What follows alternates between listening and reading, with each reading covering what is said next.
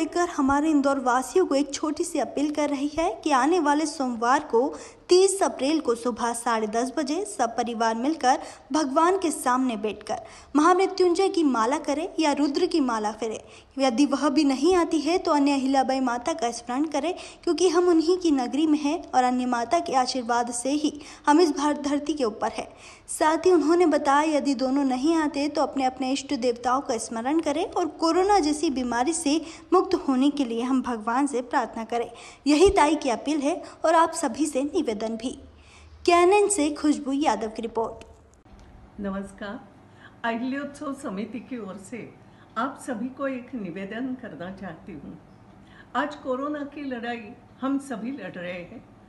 अधिकारीगण, प्रशासनिक अधिकारी, डॉक्टर, मेडिकल के सभी स्टाफ या नगर निगम का पूरा का पूरा सफ़ाई कर्मी से लेके पूरा सभी स्टाफ, पुलिस भी, ये सभी लोग हमारे लिए देखो तो लड़ाई लड़ रहे हैं मैदान में। हम भी अपने अपने घर में बैठ के एक काम कर सकते हैं।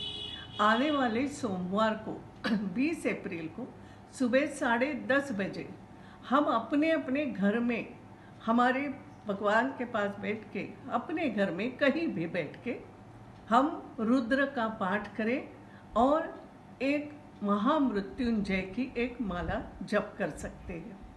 अगर रुद्र का पाठ नहीं आता है तो महामृत्युंजय का जाप किया जा सकता है।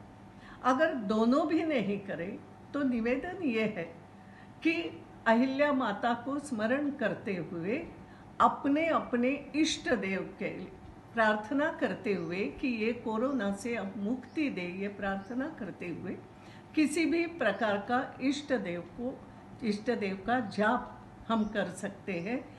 आधे घंटे के लिए हम ये काम करें। यही निवेदन है। धन्यवाद।